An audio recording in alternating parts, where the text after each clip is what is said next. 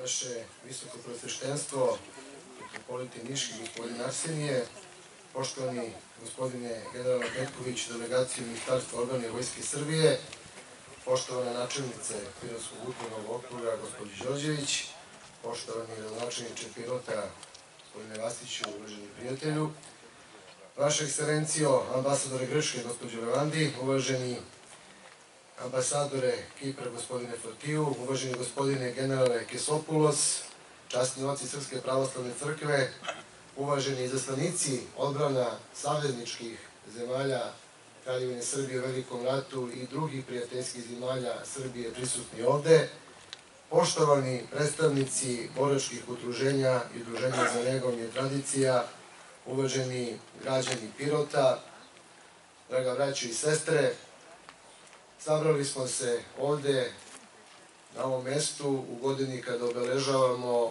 110. godišnicu početka Velikog ili Prvog svetskog rata. Srbi su mnogo puta u istoriji bili prinuđeni da brane ili osvajaju slobodu. Na početku prošlog veka, koji je po mnogo čemu bio i teži značajniji, dešavalo se tada da nekoliko ratova Srbija vodi da bukvalno ide iz rata u rat suočena sa velikim gubicima, ali velikim finansijskim problemima. Ipak pobedila je i u srpsko-turskim ratovima i oba balkanska i u velikom ratu. Srbija je sila pobednica u Prvom svetskom ratu i to svako treba da nauči da zna. Prvi svetski rat je bio izazov za ceo svet. Srbi su pokazali da su deo sveta i to na ispravan, koji se bori samo za svoju slobodu. Malobrani Srbi su u ovom ratu ostvarili prve savjedničke pobede 1914. na Ceru i Kolubari, a zatim su probojem Solunskog fronta pokrenuli i završetak ovog rata. U ovim srpskim borbama Srbija imala i odane saveznike, među kojima je svakako uvek bila i Grčka.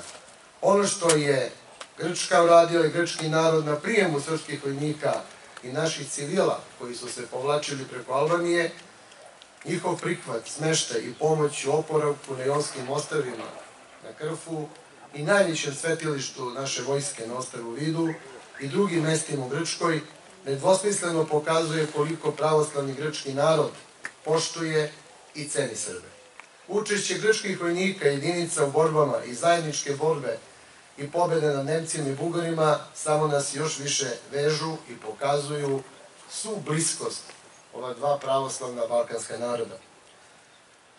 Ovih 358 grčkih vojnika, naše braće, poginulih i stradalih koji su ostavili svoje kosti u ovoj svetoj zemlji da nam i budućim pokolenjima pričaju naštvu, ponosu, dostojanstvu, poštenju, ljubavi prema svojima bližnjima, ali i iskazanoj ljubavi i poštovanju prema srpskoj braći, još su jedna spona koja veže srpski i grčki narod, još jedna spona koja veže Srbiju, Grčku i Kipar i koja nas opominje da poštujemo jedni druge i da se kao malobrojni pravoslavni narodi pomažemo kada god je to moguće. Velika je spona i veliki broj srpskih grobalja koje se nalaze širom Grčke, najviše na ostavu Krfu, na Zetilniku, podnokama Čalana i u celoj dužini takozvanog ili makedonskog ili solunskog fronta, kako god hoćete. Danas Srbija ide napred uzdignute glave, vodeći nove bitke, ekonomskim izazovima doleva, problemima nataliteta sa kojima je suočena, bori se na sve moguće načine vođena mudrom državničkom rukom predsjednika Republike, a pre svega u borbi za očuvanje teritorijalnog integriteta i državnog suvereniteta.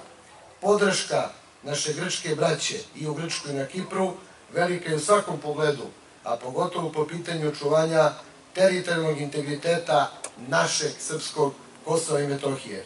Grčka i Srbija vezane su jakim i čvrstim sponama i u razvoju svojih društava i naroda baštine upravo ove ideje. Ideje nekadašnje francuske revolucije, slobode, jednakosti, bratstva i pravde, na kojima i počiva savremena evropska civilizacija.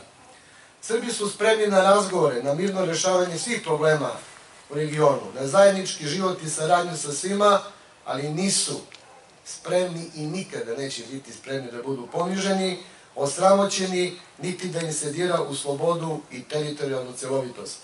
Ako sve to ne može da se ostvari na miran način, mi svakako nećemo osramotiti naše slavne pretke, niti ostaviti sramotu potomcima.